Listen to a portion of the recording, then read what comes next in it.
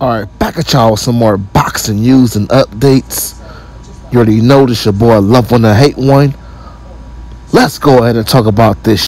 Now, unless you've been sleeping up under a rock, you already know that this Keith Thurman versus Errol Spence fight is going down, and they both going at it.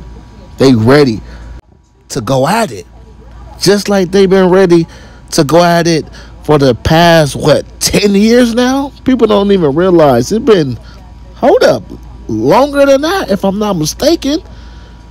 Ten years ago was 2013. A lot of people don't even know.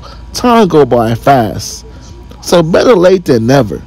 It may sound crazy when I say this, but I feel like both of these guys' natural weight is 154. Yeah, they can make 147, but they can make 154 with ease. In my opinion, you guys, this is the perfect weight. I got a prediction video on this fight. It'll be out later on tonight. Don't even trip.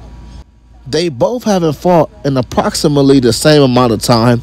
So it can't be no excuse about inactivity from either guy. I just feel like if you look at Errol Spence past four to five fights, they all been either former champions, current champions, or at the very least top five fighters at his weight class.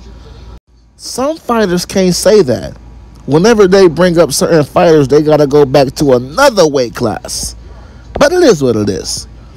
Currently, we're talking about 154. And I like the fight. I think it's going to be a good fight. I think it's not going to be easy for no guy. Both guys are going to have to bring out their very best.